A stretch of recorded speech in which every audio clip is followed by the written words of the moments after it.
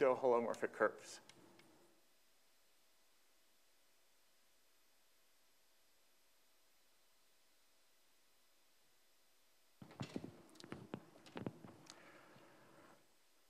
Okay, so if, if X is a smooth manifold and J is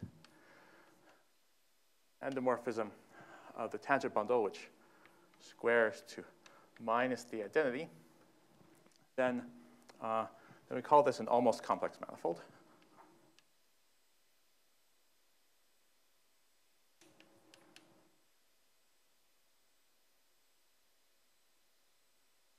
Okay, and J is chosen because it's, it's the next letter in the alphabet after I, and you're supposed to think of J as multiplication by I. So when you think of J as multiplication by I, you realize that um, J endows the tangent bundle with, uh, with the structure of a complex vector space, and, and, and conversely. Um, a complex vector space structure on the tangent bundle is the same thing as just choosing this endomorphism J. Okay, and okay, so in particular, this can only happen in even dimensions. All almost complex manifolds are even dimensional. Right, so if we have a map from one of these to another, is called pseudo-holomorphic.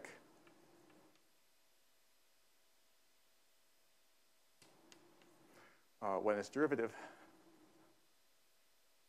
that's going from the tangent bundle of x to the pullback of the tangent bundle of x prime, uh, is complex linear. In other words, um, df composed, I guess, on this side by j prime is the same as df composed on the other side with j. Okay, so this isn't such a, in, in general, such a useful PDE to be studying because it's overdetermined. So this is, is equation overdetermined.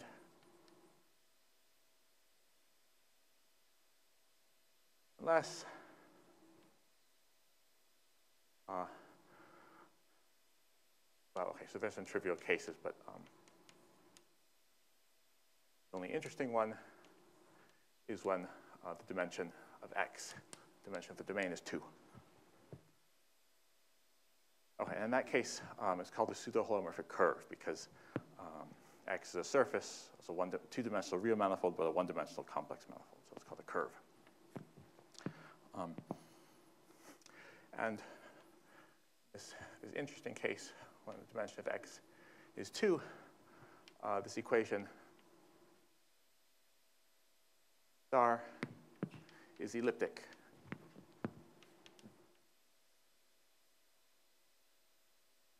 Um, and, and what that means is that uh, we can expect to find, uh, find a reasonable finite dimensional space of solutions.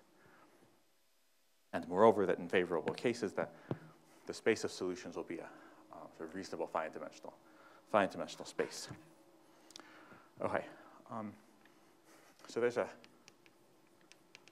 there's a fact which is that all um, two-dimensional, uh, almost complex manifolds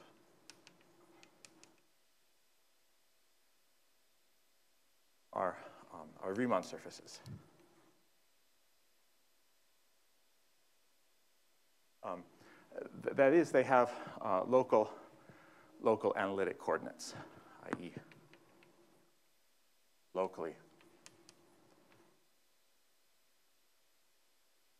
equivalent to C with its standard complex structure.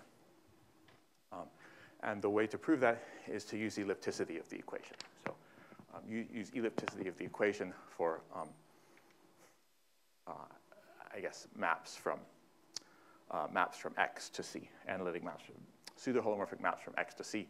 If you produce, produce enough of, of those, you get uh, these charts.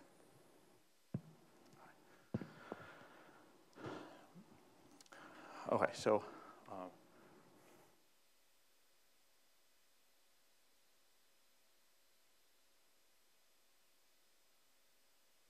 the holomorphic curve is a pseudo-holomorphic map.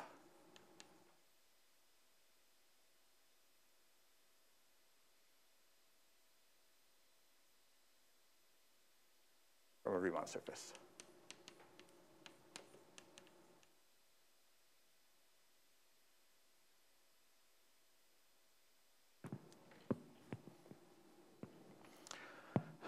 Okay, so um,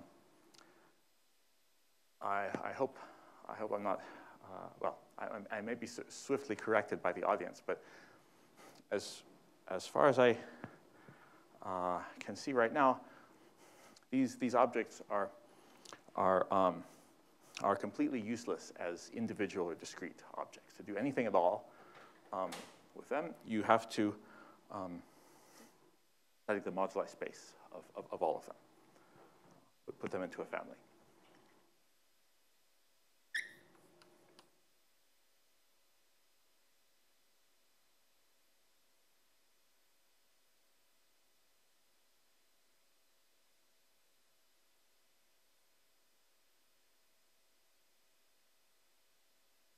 Any application?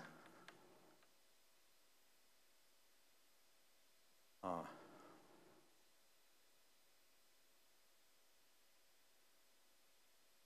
requires understanding the space of, of all pseudo-holomorphic maps. Yes? A pseudo-holomorphic map. So a map is pseudo-holomorphic when the differential is complex linear. Does that answer the, well, they, they will chat back if it didn't answer them.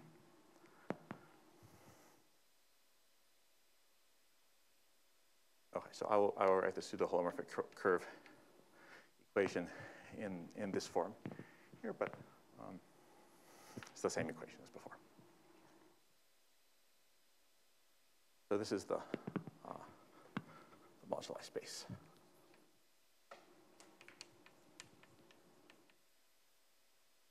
Okay, so, so, so what, um, what structure does this have beyond being a set?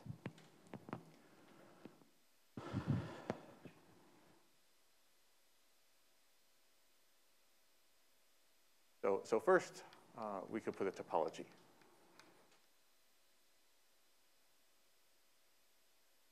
on the space of um, on the set of holomorphic maps. And, well, I guess there are two topologies you might consider. So first, um, you, could, you could equip it with a compact open topology.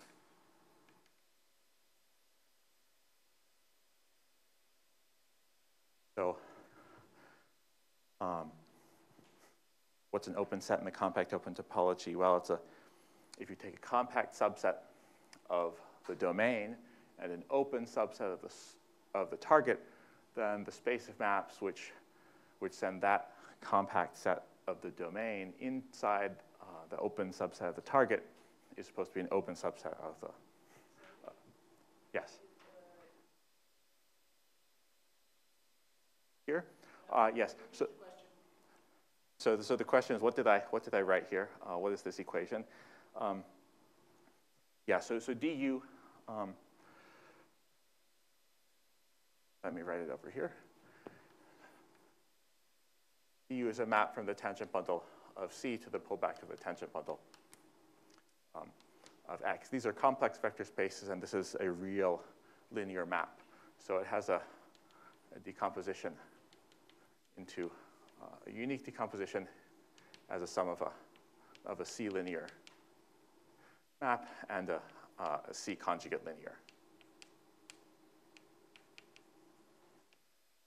map. Um, and so the assertion that du is holomorphic is the same as saying this one is zero.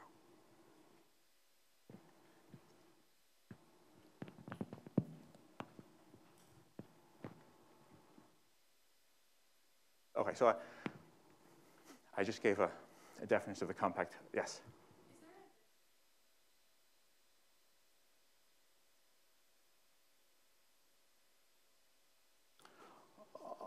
Um, sorry, you, you mean? Oh, well, so, so, so maybe, okay, first of all, maybe I want some more topology on the surface. I, maybe I want a domain other than the sphere or the something. Uh, yeah, the, the, this, this, is a, this is a Roman C, not a blackboard, not, a, not the complex plane. That's just the, the curve, C for curve, not C for complex.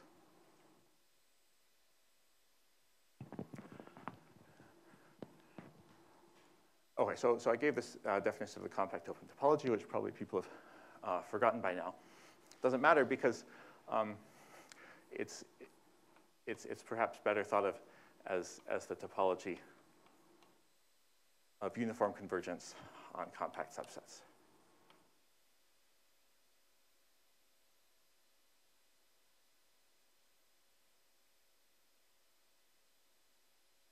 Okay, so usually, um, usually our curve C is, is compact.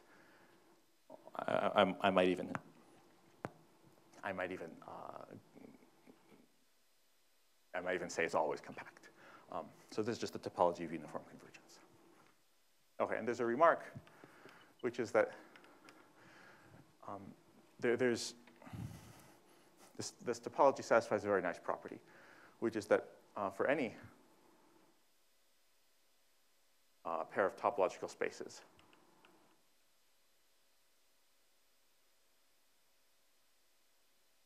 um, say call them A and B, uh, where A is locally compact.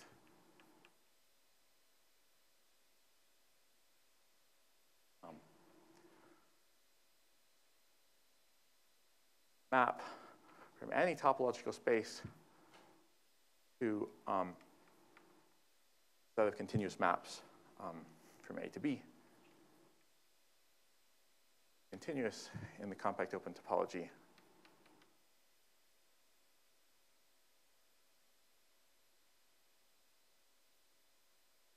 If and only if um, the associated map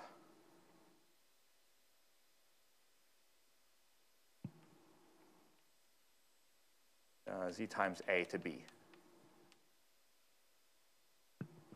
is continuous.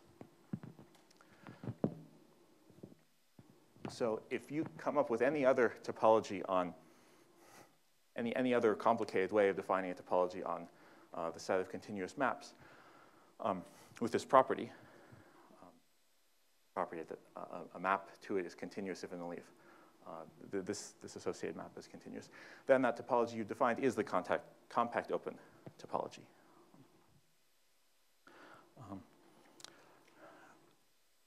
Okay, so, so another way uh, you, you might topologize. This is using, um, well, the topology of, of um, the infinity convergence on compact subsets.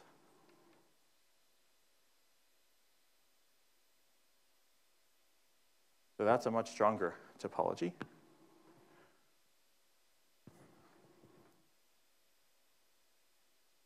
A priori. So it's, it's, a much stronger topology on the space of all maps. On the subspace of holomorphic maps, uh, it turns out it's the same. So proposition, um, uh, the C0 and C infinity topologies on the space of holomorphic, the set of holomorphic maps coincide. And this is uh, a consequence of um, two facts, a consequence of elliptic regularity.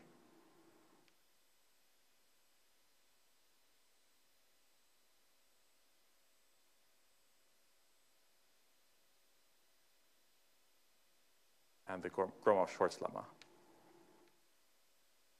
Um, as far as I know,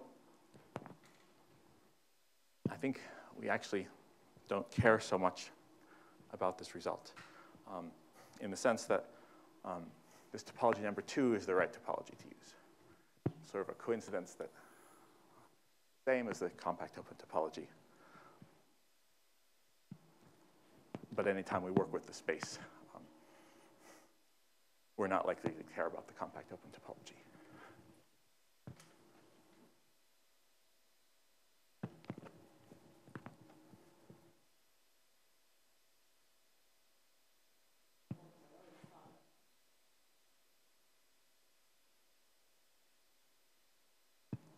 I'm erasing the board, so now it's a good chance.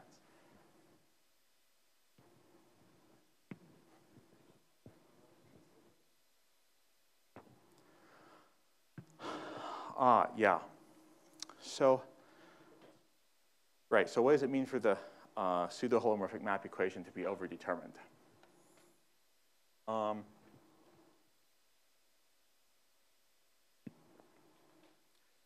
right, so I guess they're probably um,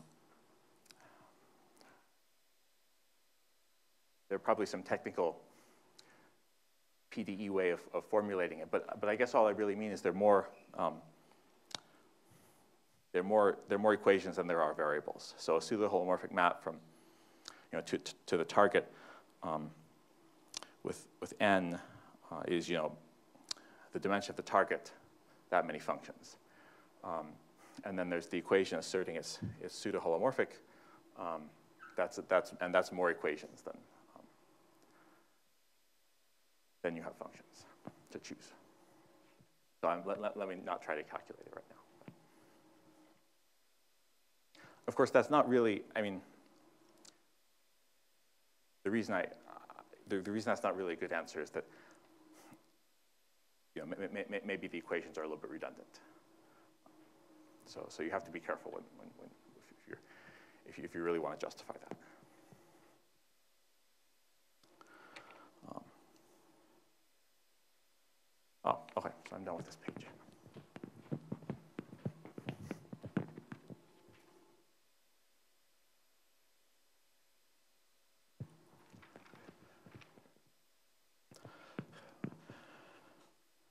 Okay, so let, let me try to talk about the local structure.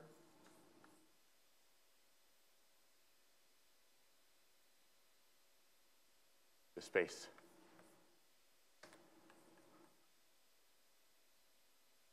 Of, of pseudo-holomorphic maps. So let's, let's fix a base point. So um, a base point for this is just a pseudo-holomorphic map U And let's assume C is compact.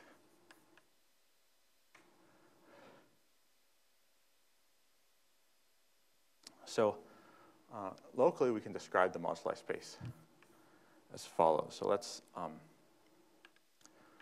consider the space of um, maps from C, pullback of the tangent bundle. Um, map that to actions of the pullback of the tangent bundle tensored with anti-holomorphic one forms. And we send a section, what? Well, a section of um, a section of the pullback of the tangent bundle gives me another, um, another nearby map. Um, I might write that nearby map as the exponential of, um, let me just write it as the exponential of C. Okay, so that gives you a new map nearby. Yes.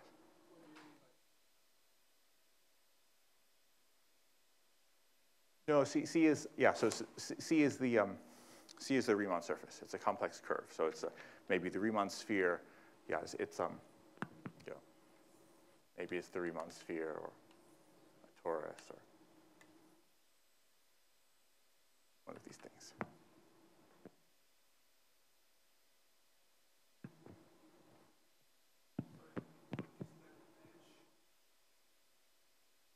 Yes, yes.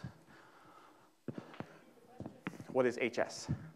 HS, so HS, um, HS is the space of um, Sobolev regularity S um, functions. So, so HS of, say, of a manifold is the space of, well, okay, let's take smooth functions.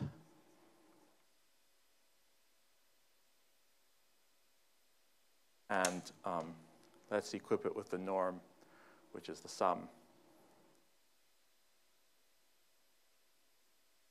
of, uh, of the L2 norms of the derivatives up to order k.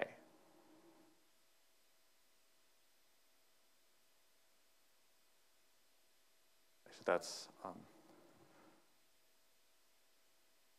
that's a positive definite inner product, and we take the completion. Um, uh, okay, yeah, I, I, I, messed this up, didn't I? I? I? mean to take the completion with respect to that norm. So, so let me let me write it as um, um just the completion. Okay, completion. I'm going to say M is compact. So I don't.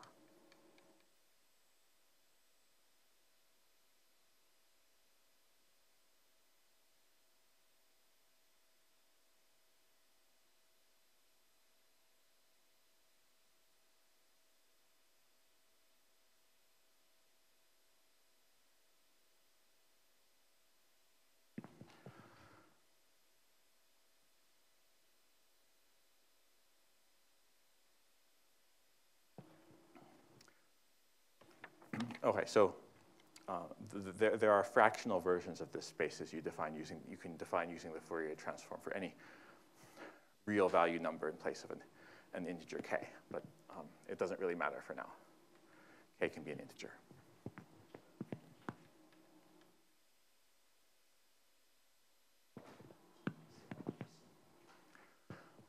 Yes, the complex conjugate vector space.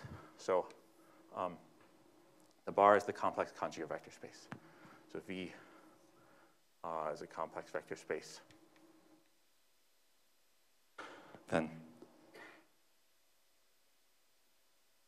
V bar, well, as it's the same as V as sets, um, but the, but the uh, multiplication is conjugated. So lambda bar is lambda bar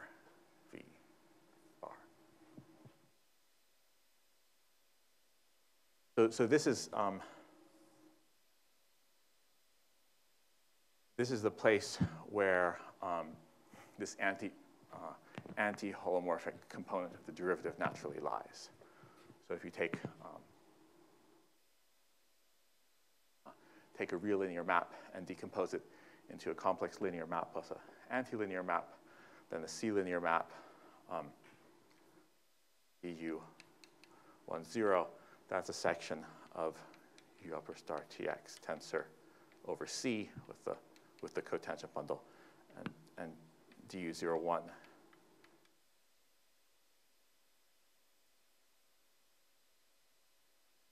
is a section of that.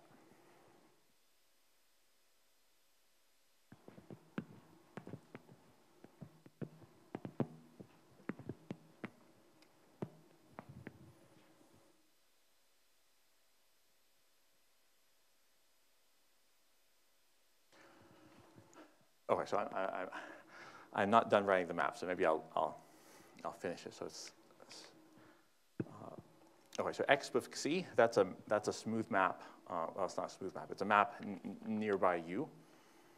And I can take it, you know, the anti-holomorphic component of its derivatives. D of this, uh, 0, 1. And, and this thing, now it's not a section of of this bundle, it's a section of XC pullback tangent bundle of X tensor this. So I have to, uh, I have to do a parallel transport from XC to, to U of that.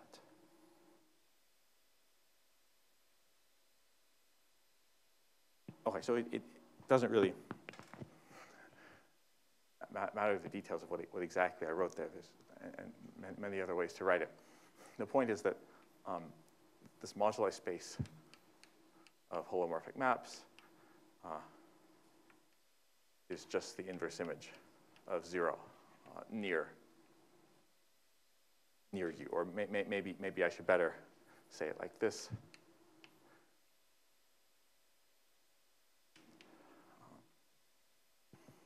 Is an identification of, I guess, germs of topological spaces.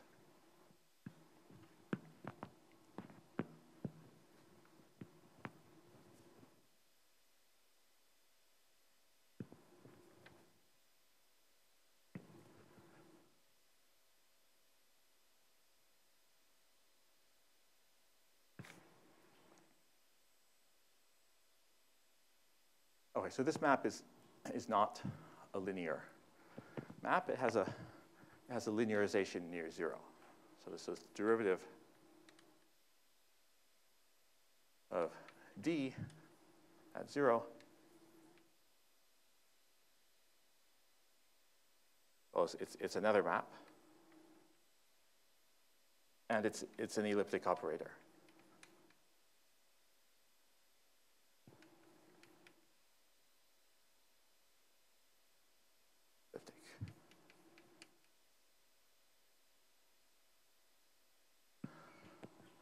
So, um, as you already know from, from Francesco's uh, lecture this morning, since D is elliptic,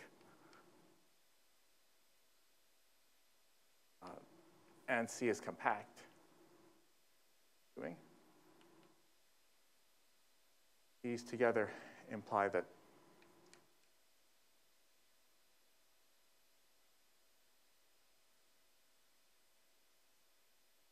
is a Fredholm operator. Okay, which means the, the kernel fine dimensional. Um, the image closed, and the co-kernel fine dimensional.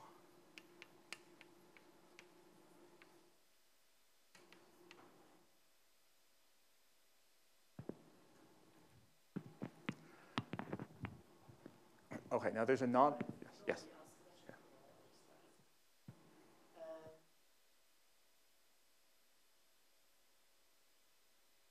For any, for this statement, any real number s. For this one, for this, okay, for this one, um, yes, okay, what about the, I'll repeat the question. What values of s are, are permissible here? Yes, let's see. That's a good question. What values of S? Um, certainly, if it's sufficiently large, you're fine. But what exact? Why, why exactly do we need that? Um, well, okay. So first of all, the, you, you definitely need. Um, yeah. So I think. Um, so you definitely need HS um, to embed into continuous functions.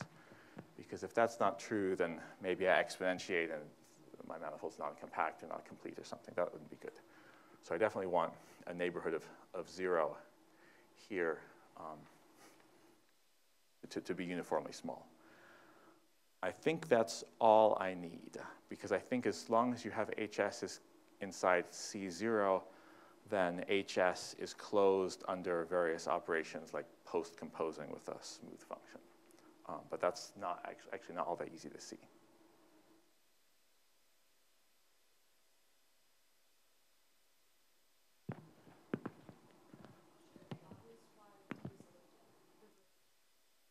Uh, no, I don't think so. Why? Is it obvious whether D is elliptic? Uh, definitely not. Um, yeah, so I haven't even defined the elliptic, so it would be hard for it to be obvious before I, before I define it. Um, and e e even then, um, I doubt it. I mean, you, you, okay, so, so this operator basically sends C to, okay, its derivative and, and the zero one part of, part of it. Um,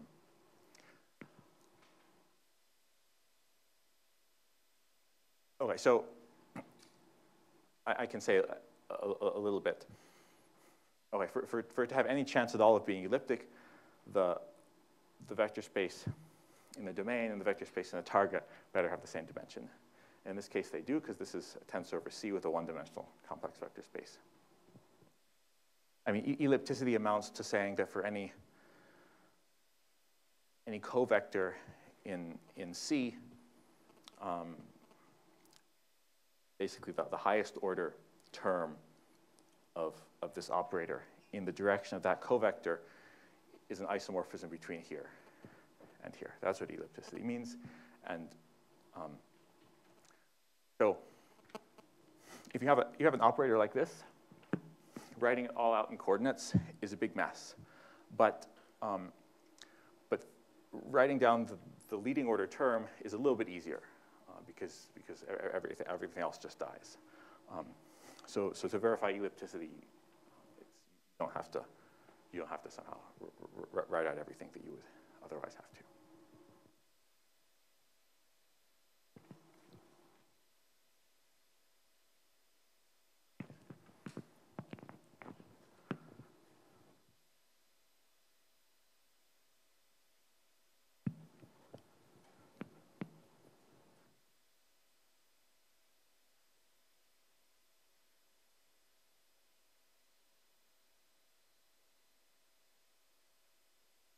Okay, so this Fredholmness statement, basically what it says is that, um, okay, these two vector spaces are, are infinite dimensional, but this D, um, you know, other than sort of finitely many dimensions in the domain and the target, this D is just an isomorphism. So it cancels the infinite dimensions of the domain with the infinite dimensions of the target. Now there's a nonlinear analog or nonlinear consequence, but it's really an analog of this of this Fredholmness of the linearization um, about, about the, the nonlinear operator. So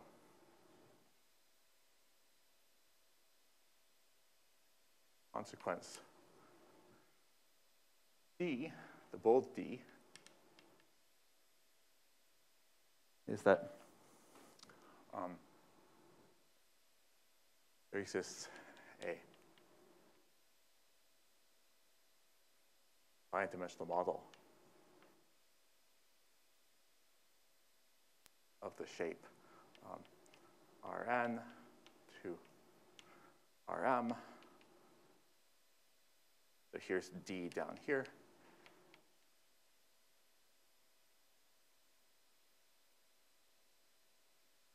Where this is a transverse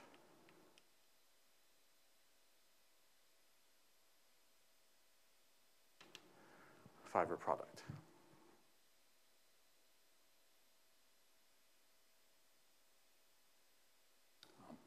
And so, and, and, and the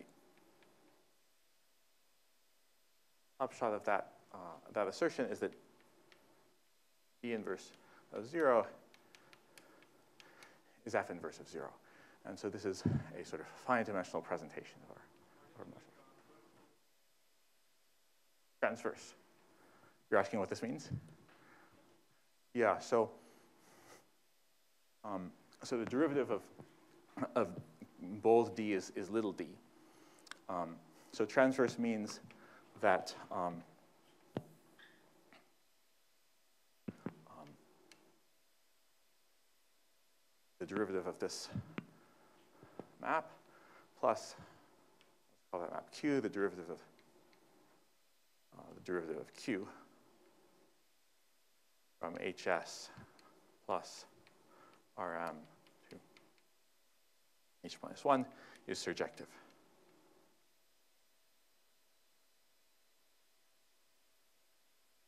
That's a reasonable statement since the co-kernel of D is, is finite dimensional, so that I only have to, um, I only need finitely many more dimensions to, to fill it out. So of course, when I write HS and HS minus 1, I mean those spaces over there. I'm just, I'm just abbreviating for sake of time.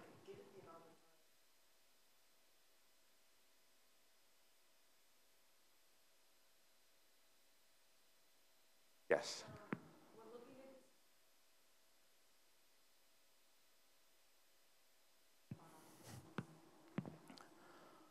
Um, well, since it's a vector space, right, it's tangent space. The yeah, so, so why is the domain of the derivative the same as the domain of the map? Itself. Um, and the reason is that, well, it's a vector space, so it's, tangent space at the origin is itself.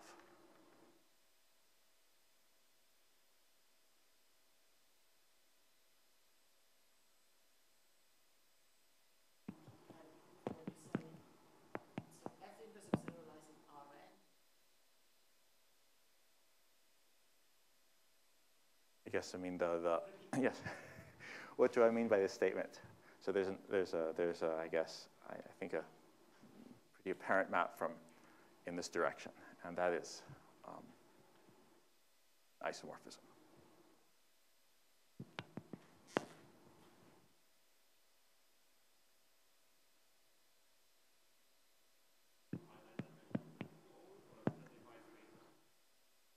Right. Well, it means it's. So so what so what what what is this?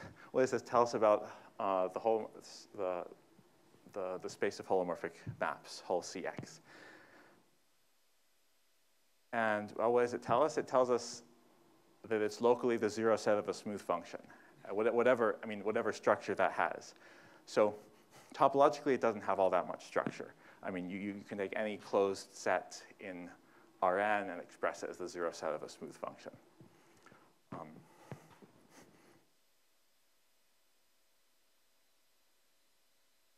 So you need a much more complicated structure to keep track of what, what, what exactly this, this chart tells you about it.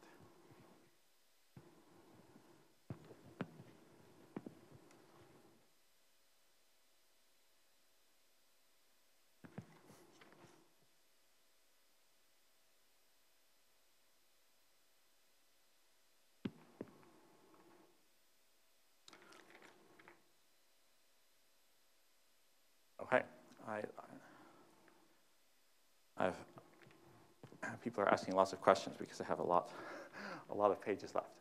Okay, that's good. Any other questions about this?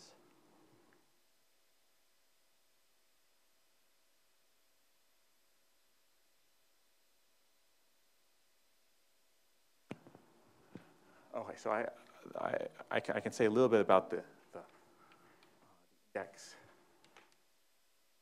Here, as, as Francesco already said, the index of a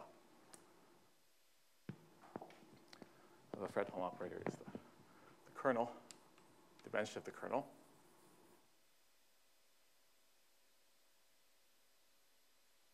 minus the dimension of the co-kernel.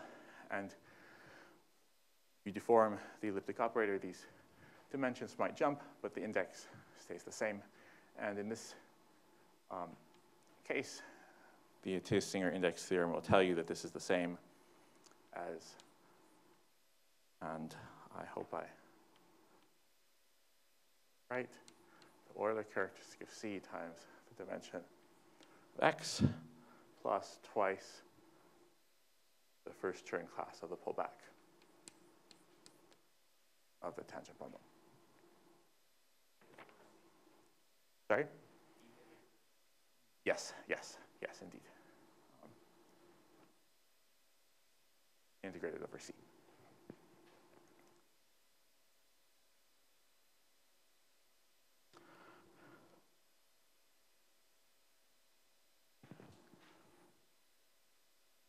Okay, so, so there, there are two situations to, uh, to distinguish here. So U called regular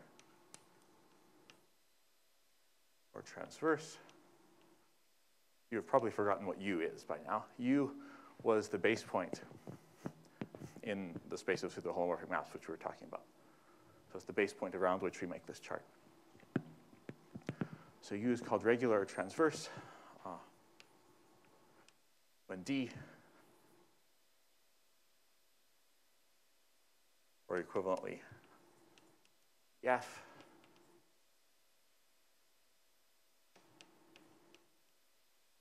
is surjective. Okay, so in, and, and, and in this case, if U is, is regular, that means that this, um, this moduli space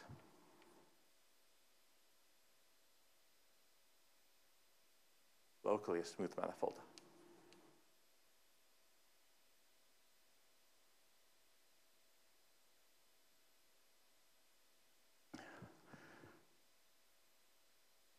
near you.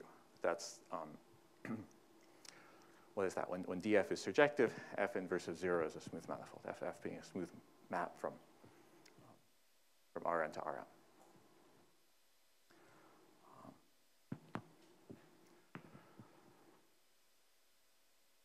So, so there's a little bit of problem with this, with this word is, I, I, I said here, because I haven't um, so far I've told you what, it, what this is as a set. I've told you what it is as a topological space.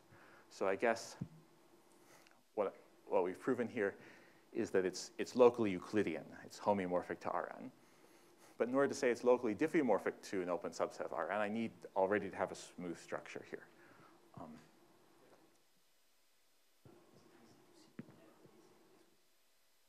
question from the chat, is it easy to compute what f is explicitly? Um, I, I, I, doubt it. Maybe in some, yeah, it, it seems rather difficult to, to, to make any sort of explicit um,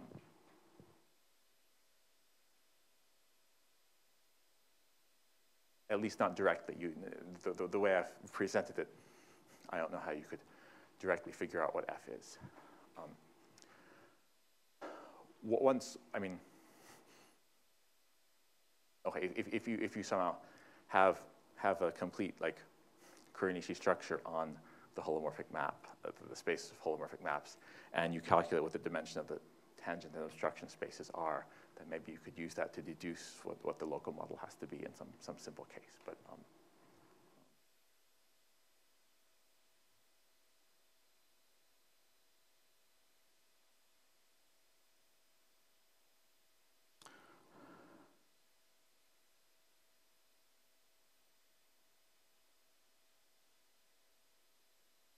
so, so there's a problem with this word is. Really what I should be saying is that this gives us a, a chart um, for, for a holomorphic, for this moduli space. And um, well, that's, a, that's one chart, depending on the base point u and depending on whatever choices went into the existence of, of my map f. But maybe um, I mean, there, there, are lots of other points around u around which you could find a chart, and there are also uh, many more choices of f you could use. And um, so you have to know that, that these charts are compatible. Okay. Um, one thing I will say is that um, the, the, the, locus of, of regular points is an open set.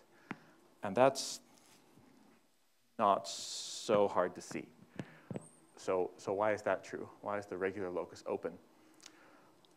Well, it's the locus of, uh, regular just means this, this operator is surjective. So if you have a, a family of, of Fredholm operators, I claim that surjectivity is an open condition. Um,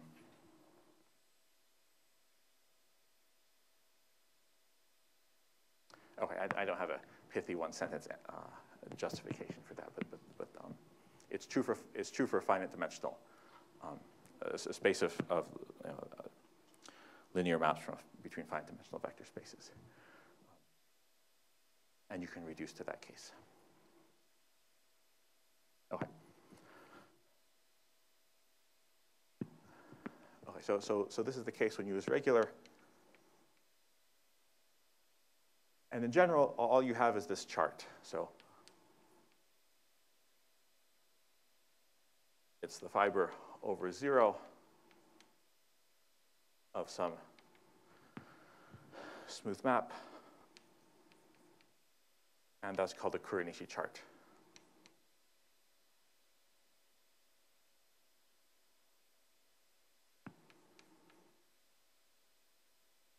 And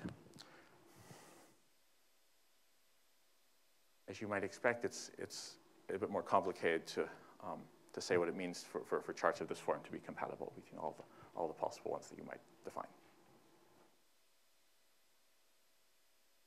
Okay, so, so why do these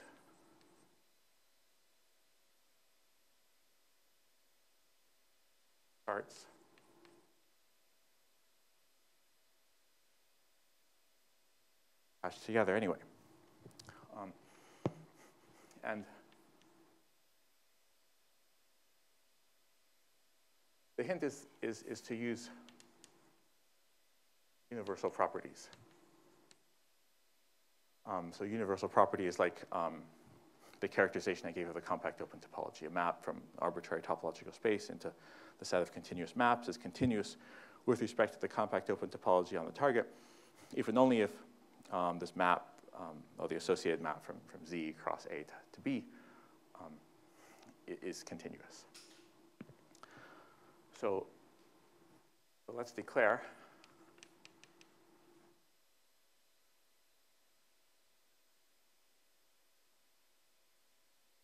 for, uh, so this is the category of smooth manifolds.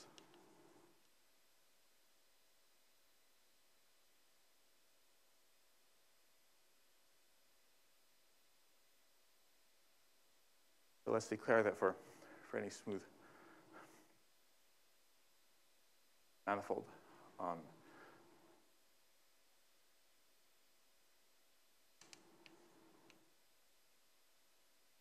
there's a natural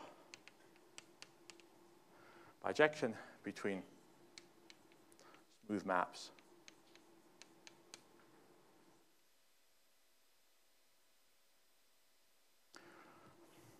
from Z um, to this uh, regular locus in, in holomorphic curves. And um, smooth maps, C cross C to X. Smooth, whereas the fibers are pseudo-holomorphic.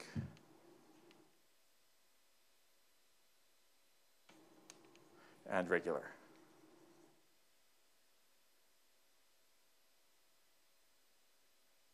Um, so that doesn't really look like a definition. It looks like a property. Sorry, question.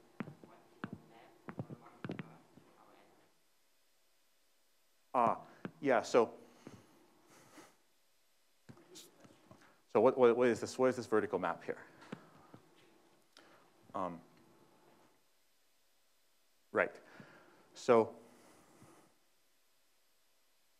let's begin over here. So the space of holomorphic curves is the zero set of this map, uh, bold D.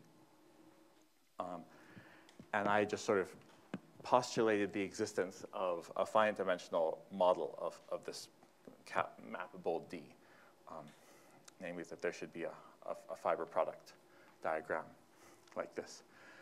And uh, in, in, that case, uh, the inverse the zero set of D is the same as the zero set of F. Um, so all I've written here is, is the zero set of, of F. This fiber product here is the zero set of, of F. So I, I, I shouldn't really put the entire space of holomorphic maps here. I mean, so the, the, the, open neighborhood of U on, on which we have this chart.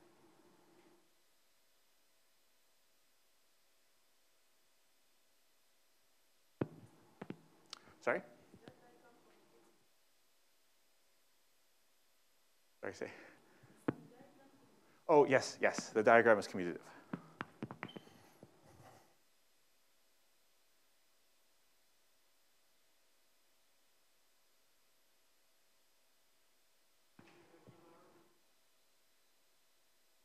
Right, yeah, so, so, so this is, let's, okay, so let's, let's name the map. Name the map might be capital, uh, capital F. So then, um, um, then I can take f of a little z comma something from, from c to x. And so that map um, should be regular, is, is pseudo-holomorphic and regular.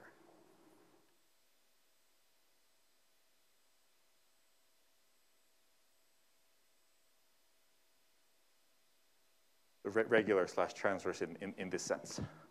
Um, right? Yeah, this sense.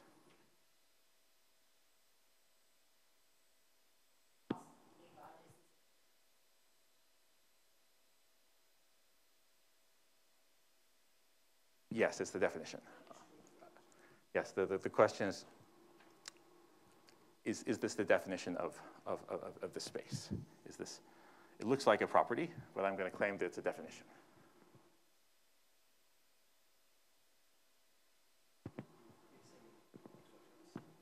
Yes, yes, fixing a complex structure in C.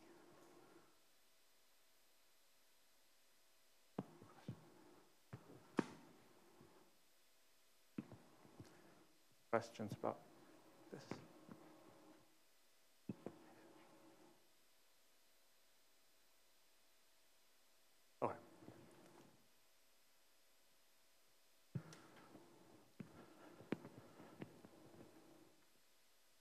So yes, as, as, Paul pointed out, this doesn't really look like a definition. It looks like uh, a property. But I claim that, in fact, it is a definition. Or it's, it's, it's, it's maybe 99% of the way there, too. It's, it's part, partially definition. Maybe I shouldn't say 99%. Okay.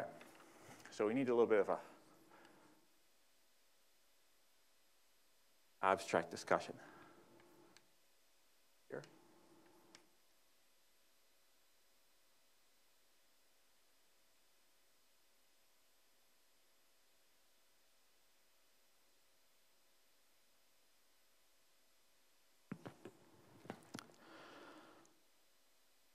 So let's let's let C be a category. So, so let's, let's uh, recall what, what that means. So, so C has a set of objects.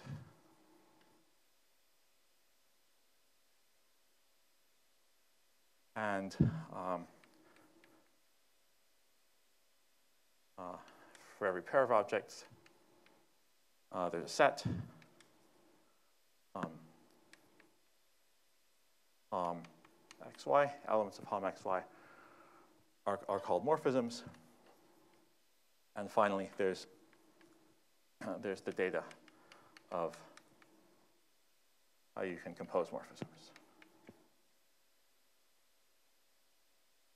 And composition is associative. Okay, so, so you've, you're familiar with, with many categories, smooth manifolds and, and smooth maps,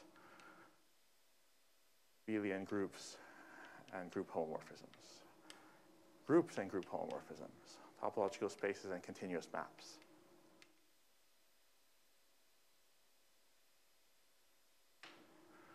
Um, the morphisms in the category are just sets. They don't have any other structure. Okay. So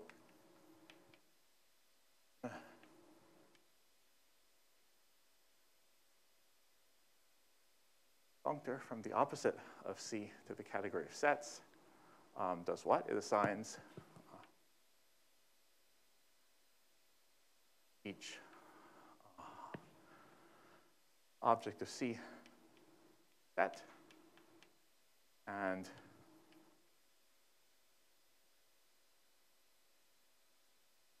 each map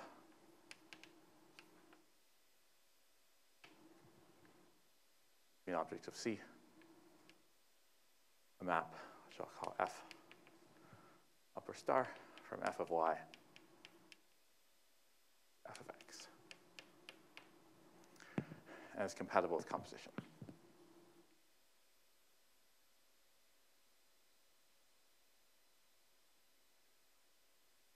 Okay, so, so let me give some examples because otherwise, um, who knows what any of this means.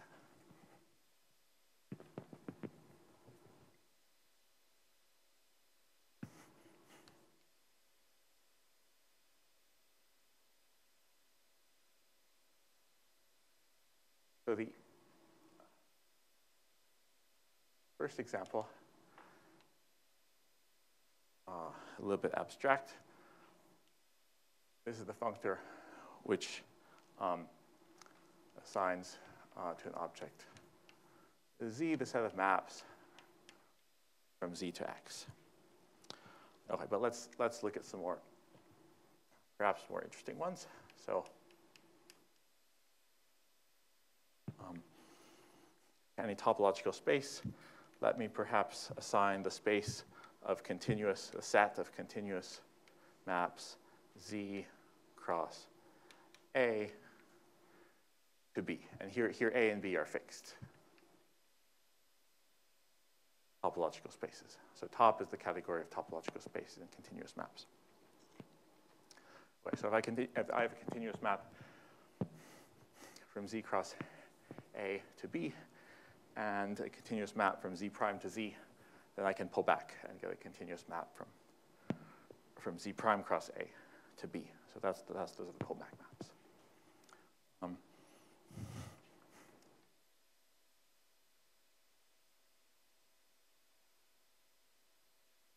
I can, I can do the same thing for, for smooth manifolds, so smooth maps. Cross A. To B. Um, another one, Z maps to um, smooth embeddings of, uh, sorry, not smooth embeddings. Um,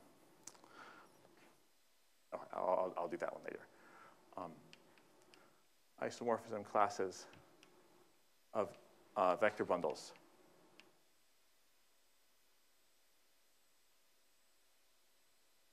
on Z. That pulls back. If I have a map from Z to Z prime, a vector bundle on Z prime pulls back to one on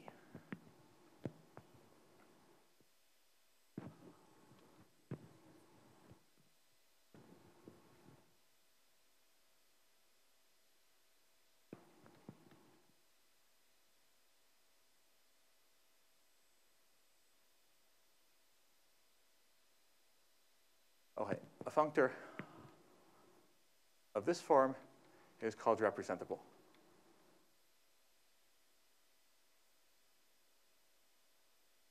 So.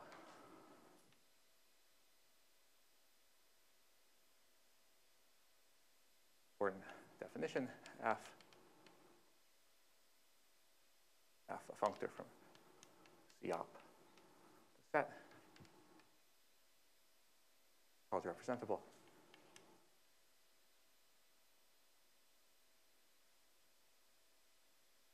isomorphic to hx for some x and c. Um, okay, and now what I claim is that um, this object x is, um, is unique up to unique isomorphism if it exists. There's only one of them. If I give you a functor, it determines this object x uniquely in, in as as canonical way as you can, you, you, you, you, you can want. Um,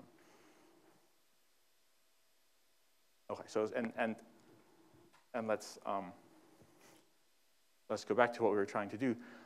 Um, declaring that this right-hand side is a definition of, of, well, declaring that this bijection here is a definition of this whole CX reg as a smooth manifold is exactly representing a functor. So over here, um, on the right-hand side, I have a functor on smooth manifolds. To every smooth manifold, you Z, you associate the set of, of maps um, like this satisfying this condition. And, and what I'm saying is I want that to be of the form set of smooth maps from Z to, to something.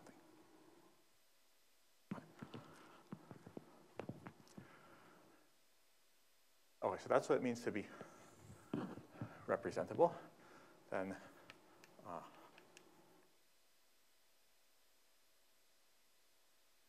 representing object of f um, is a pair, x in C and u in f of x.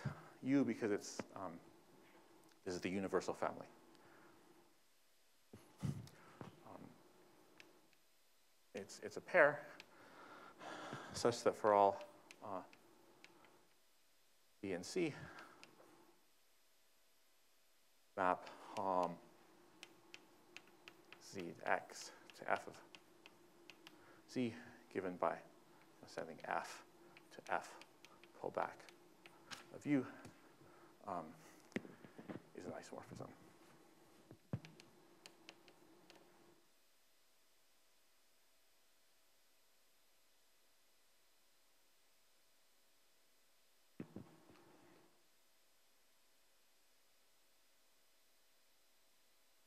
So representing functors is perhaps something that you've uh,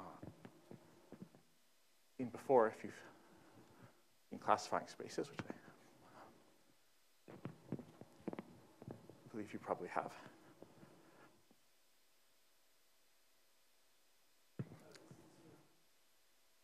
Sorry.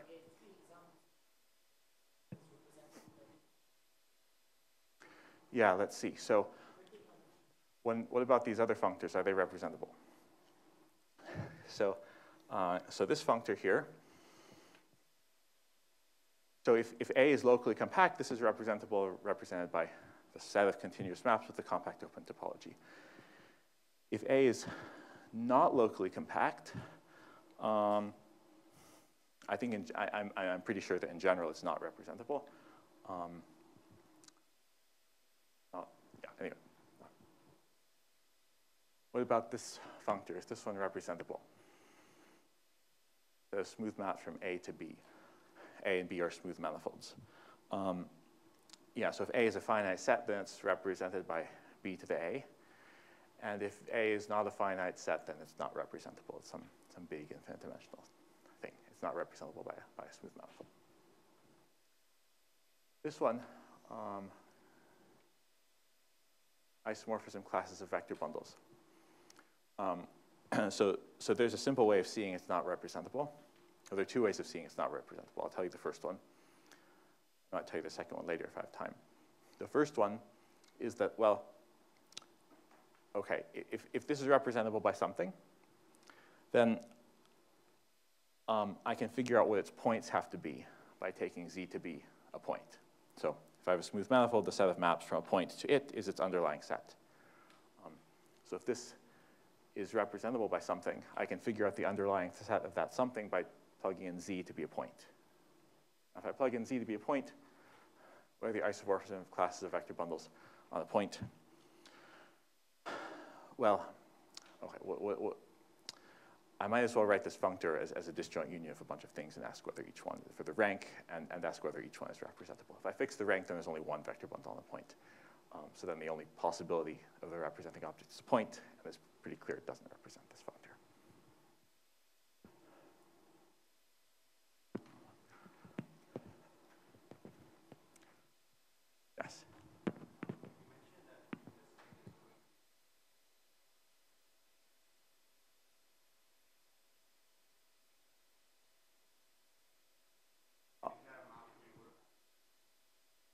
Right.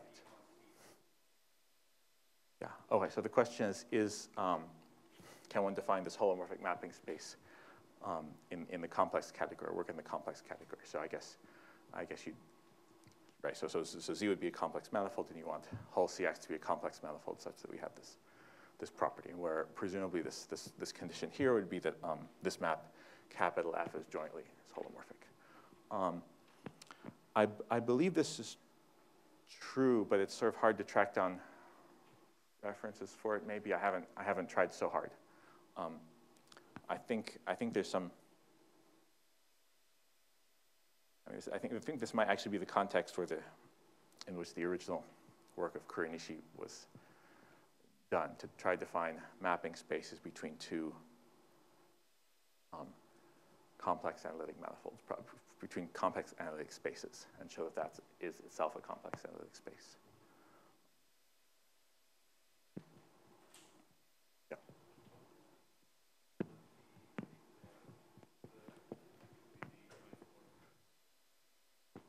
So the question is, what is this, what is this map? Yeah, so, right, so, so F, is a, F is a functor, so that means to any, any map in our category from Z to X, any element of Hom Zx.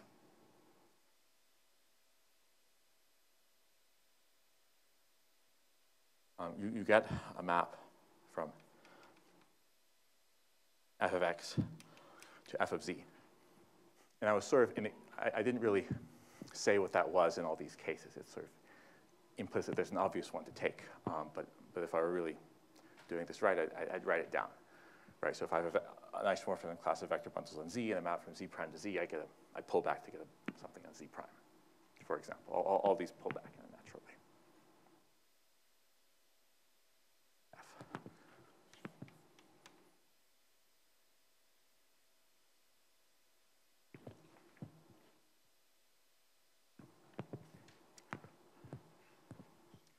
So I, will give examples of representable functors right now. But um, let me just, I, I, I, don't think I can, I don't think I'm allowed to make this definition without stating the first result about it, which is that representing objects are unique up to unique isomorphism. So for any pair of representing objects x, u, x prime, u prime, there exists a unique map f x to x prime, pulling back the universal family of of x prime to the universal family of x. So that's the, the sense in which if I give you the functor, then your, the object is, is, is determined. Yes?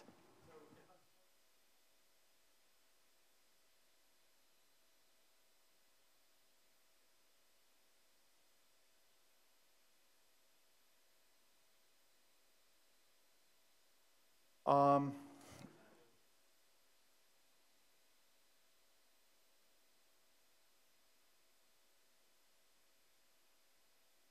Let's see, that was a long question. Um, so it's a little bit difficult to repeat. I'm going to repeat it by saying, is what's the, are all, what's the relation between representable functors and forgetful functors?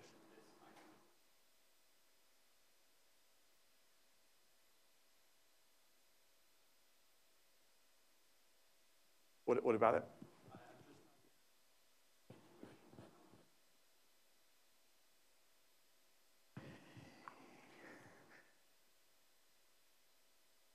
Yeah. Um, yeah, yeah.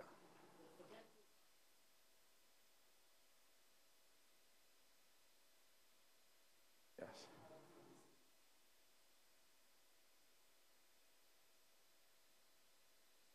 Yeah, this, this is what I, uh, yeah, I mean, many,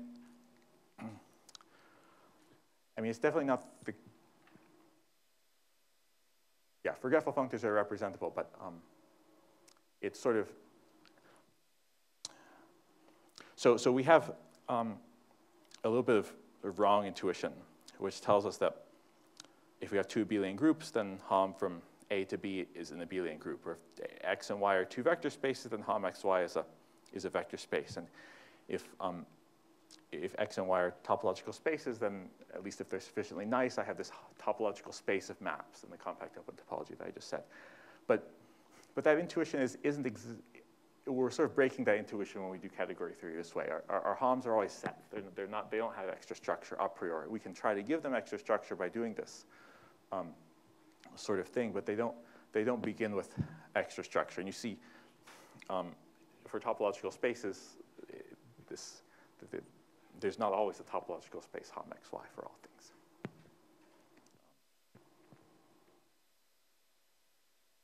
Okay, let, let, let me um, let me keep going a little bit.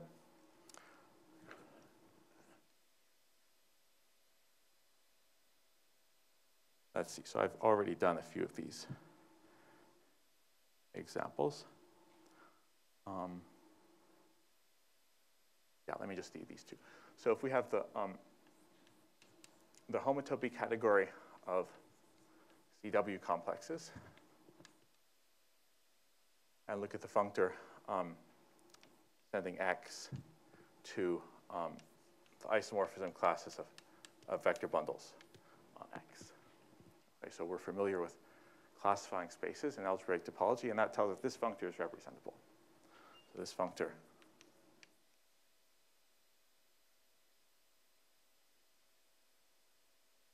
represented by. And, and when you represent a functor, you really should always think of it not as just an object, but as a pair. Right? Pair the object with the, with the family. So, so this is this infinite Grassmannian BO together with its uh, uh, tautological vector bundle.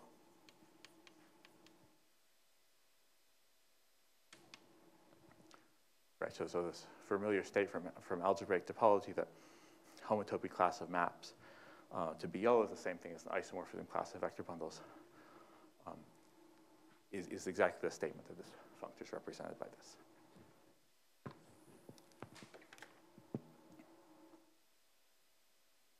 Um, yeah, so if I mentioned this um, space of smooth maps from M to N. So if M and N are smooth manifolds, that I can look at the space C infinity Mn um, space. This is a topological space. The space of smooth maps M to N with topology of C infinity convergence on compact subsets of M. So I'm sort of going to go in the reverse direction here and ask what functor does this represent? Um, so this um, AC infinity Mn represents functor of um, what one might call relatively smooth maps z cross m to n. Right, so, so z is, a, is just a topological space. And here relatively smooth means, um, well, if, if you take sort of local Euclidean charts for m and n, and you differentiate um, arbitrarily many times in the m direction, you still get a jointly continuous map.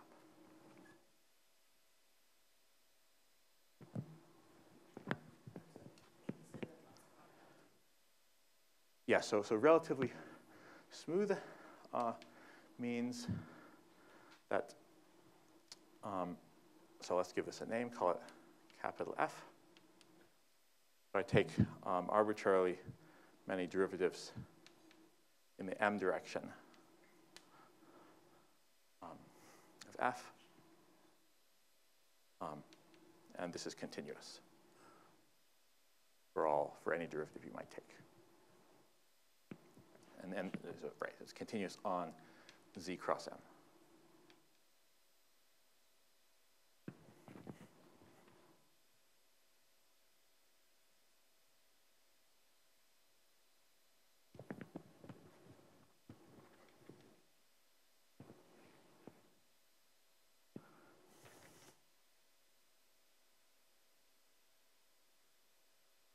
Okay, so, so there's probably an implicit question which um, you might be thinking but have not asked, which is why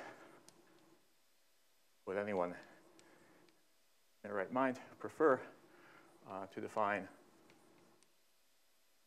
an object of some category C um, by first defining a functor, and then representing it.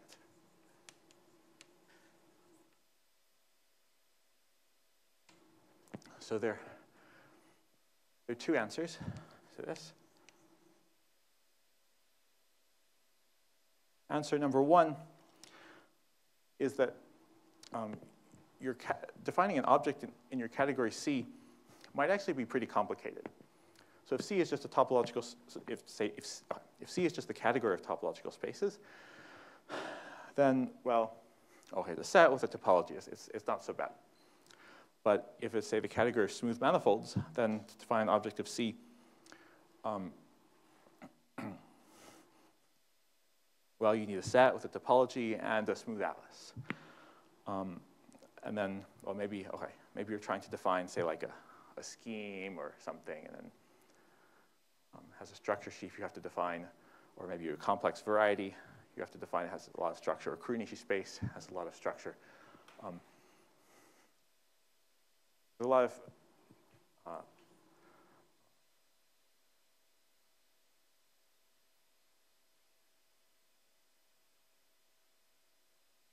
a lot of categories can have quite complicated objects.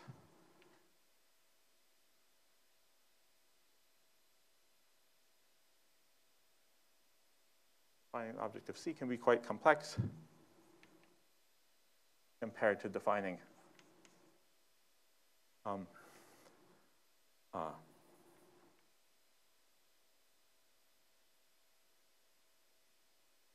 functor.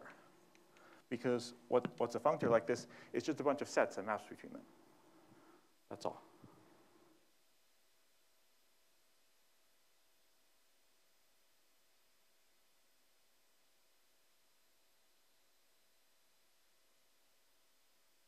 That's,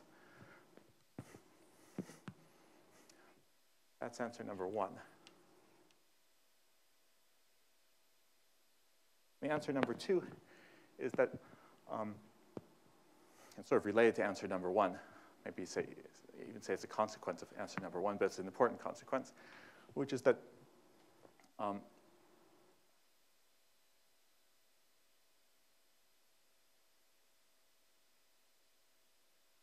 functor is often more obviously canonical. So when I'm defining, for example, if you're trying to study moduli spaces of pseudo-holomorphic curves, um, you know, I, I, wrote that, I wrote that, um, that map, bold D. Um, and, and to write it, I had to choose a Sobolev completion. I had to choose that, that real parameter S.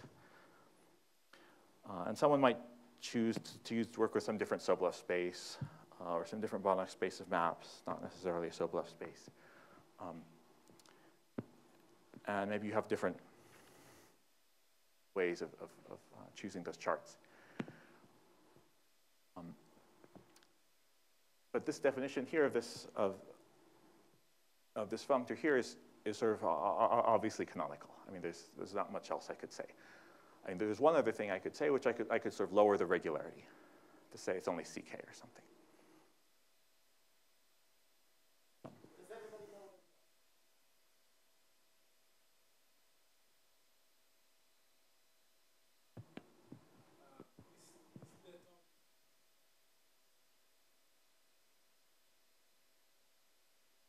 Yeah. Yeah,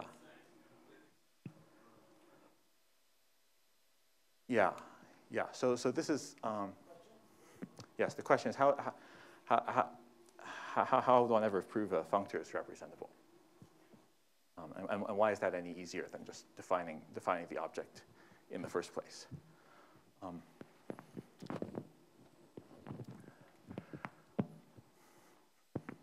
yeah, so that, that indeed is the disadvantage to this approach. The answer, um, the answers are the, are, are, the, are the advantage, and, and the disadvantage is, well, you have to, you have to prove, the, prove representability.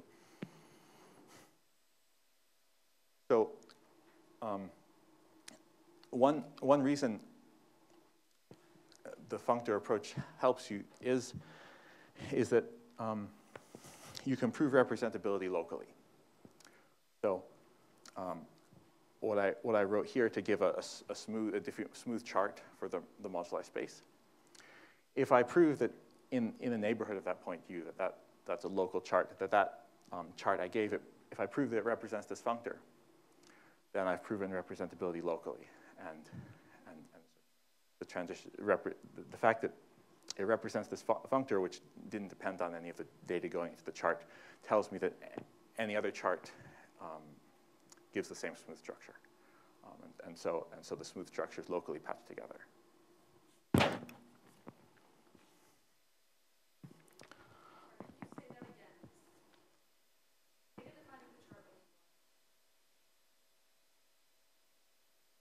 Uh, yes, so okay, the question was just to, just, just to repeat. Um, and um, so, so I, I've, I've, this is even was, was what I was about to write down next. So let me write out a sketch, and then, then it will be more easy, easy to throw darts at it once it's up here on the board. Okay, so, the, okay, so this functor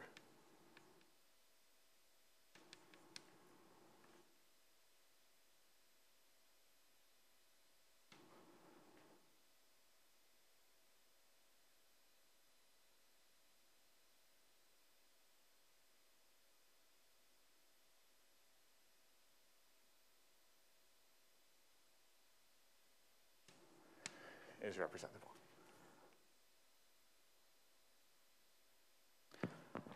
Okay, so we already have um,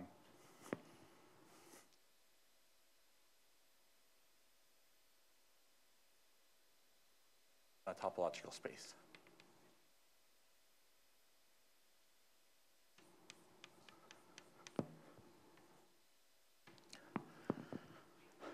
Okay, and it suffices to prove uh, representability locally.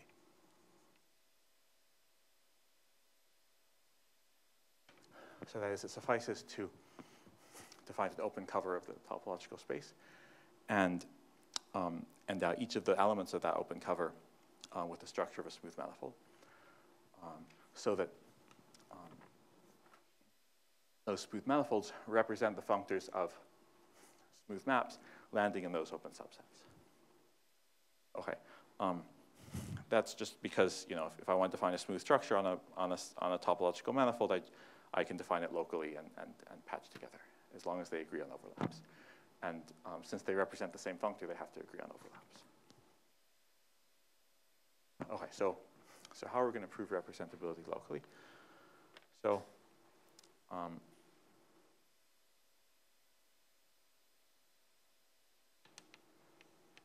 fix our, our base point.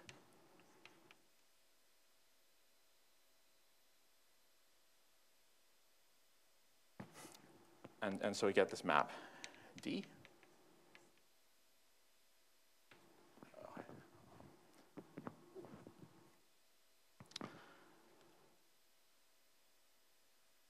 And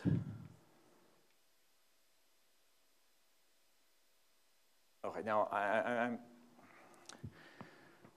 in some sense I'm gonna I'm gonna cheat a little bit because I'm really hiding a, a lot of the a lot well a lot of the a lot of the content is contained simply in the, the Banach space inverse function theorem or implicit function theorem, which tells me that since this is the differential is, is, surjective, that this um, is, is a smooth manifold.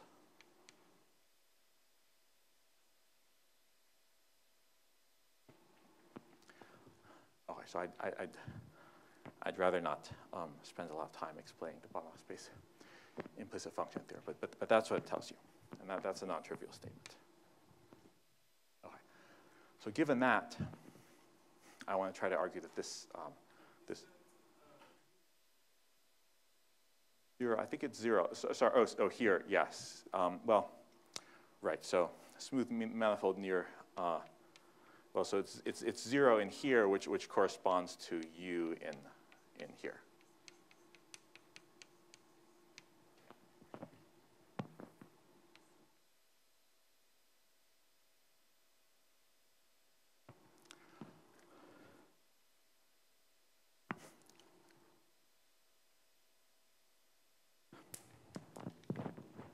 Oh, I, I want to I want to argue argue things. Okay, so so to show that um, this smooth manifold represents this functor amounts to um, amounts to the following claim. It's the claim that um, so so for for, for z with manifold a map from Z to this inverse image of 0 is smooth if and only if the associated map from Z cross C to X. That's what we're trying to show. And there's, there's not, that, uh, there's, there's some content to it, but it's, it's mostly just elliptic regularity. So um, So this direction is, I claim, trivial. It's trivial in the sense that um, you, you, have to you know, what the smooth structure on this HS space is. But, but um, um, and this direction elliptic regularity. So a priori, a smooth map from Z to D inverse of 0, oh, it's just a, a smooth map from Z to this HS space. Um, so, so let's mark. So smooth map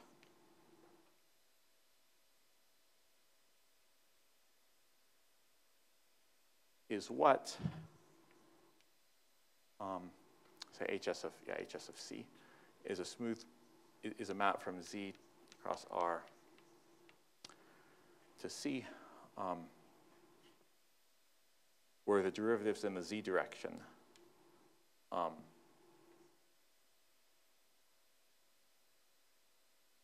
all exist and are in HS of C. Um, I guess I really should call that uh, E to HS of C is continuous.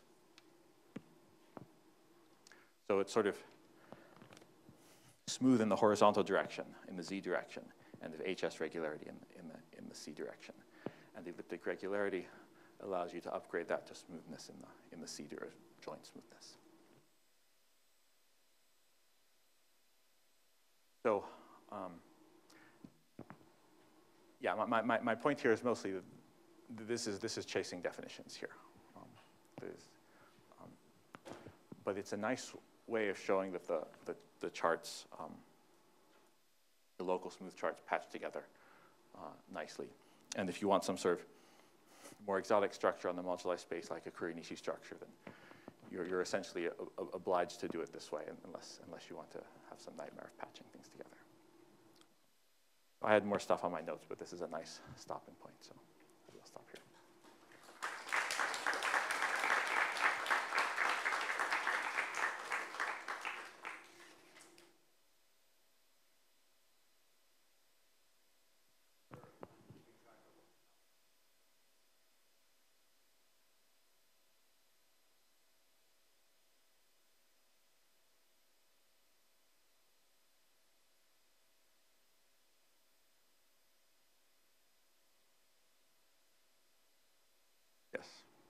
Repeat, repeat the question. So the, the question, the, well, the statement, the question is, is it the case that um, the reason we do this is that we get a, we had this argument to uh, find a, a, local smooth structure, and um, then we say, uh, well, that local smooth structure represents this functor, and the functor was just this canonical thing, and therefore the, the local smooth structures are all the same. They patch together. And the answer is yes. That, that is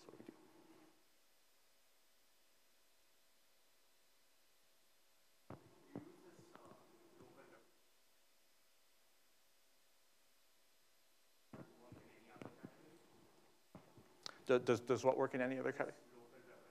Ah.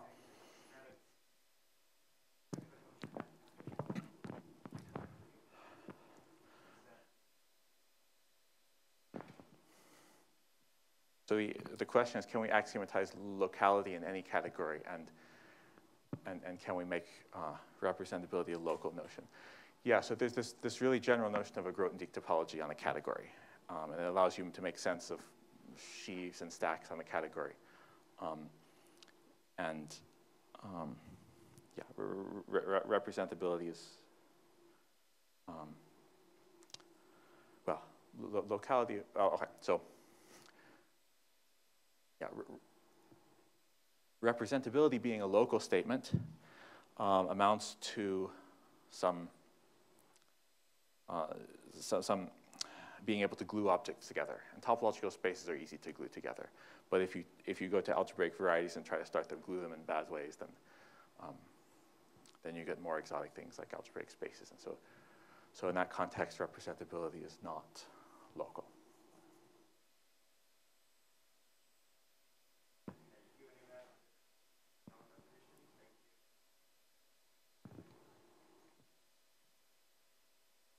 Yeah, um,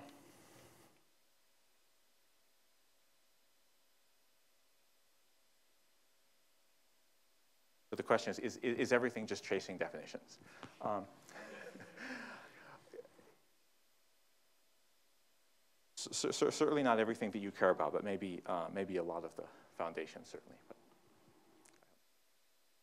it, it's in the eye of the beholder some, in some sense.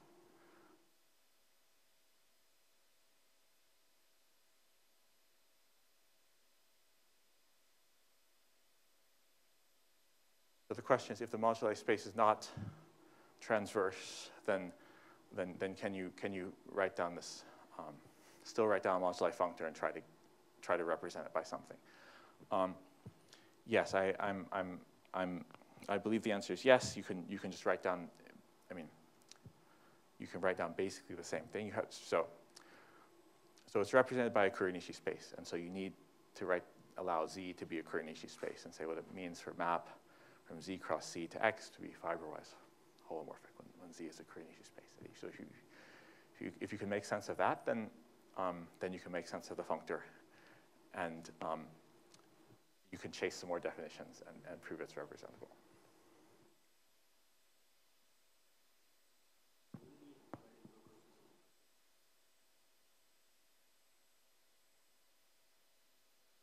So the questions we've we've, we've proved local representability. We get the local representing objects. What's the global representing object? Right, so the global representing object is a smooth manifold. So, so how do you define a smooth manifold? Well, it's a topological space with an atlas of charts. So, so here's the topological space. And what are the charts? Well, the charts are the same, the same charts that I, that I uh, defined much earlier. The content is that um, the transition maps between the charts are smooth, and that's somehow some fact we proved uh, here. And then if you're really pedantic and you define your manifolds to be um, you know, topological spaces equipped with a, a maximal atlas of, of, charts, then you add in everything which is compatible with, with, with these.